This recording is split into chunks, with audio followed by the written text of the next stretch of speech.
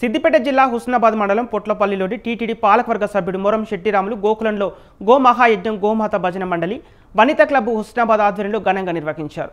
ఉదయం నుండి మూడు గుండాలతో పది మంది జంటలు గోమహాయజ్ఞంలో పాల్గొన్నట్లు హుస్నాబాద్ గోమాత భజన మండలి అధ్యక్షురాలు రాగి కవిత తెలిపారు.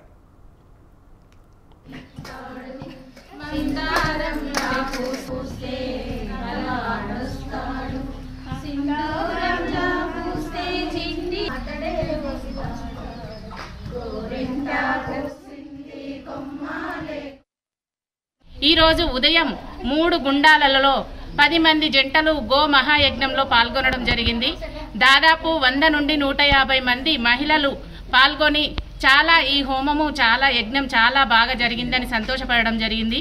ఇప్పటి వరకు ఈ ఉస్నాబాద్ పరిసర ప్రాంతంలో కూడా మేము ఎప్పుడూ కనీ విని ఎరగని రీతిగా ఈరోజు గోమహాయజ్ఞం అంగరంగ వైభవంగా చేసుకోవడం జరిగింది.